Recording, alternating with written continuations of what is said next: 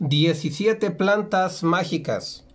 17 plantas que no pueden faltar en tu botiquín herbolario y que te van a ayudar para que haya una mejor salud para ti y para tu familia. Vamos en la planta número 13. Revisa las plantas anteriores, revisa las plantas que todavía nos quedan por hablar de ellas. Y en esta ocasión esta planta, la suelda. En México la conocemos como la consuelda. ¿Por qué, ¿Por qué consuelda? Porque de soldar. Soldar. Significa pegar. Entonces ya te imaginarás para qué vamos a utilizarla.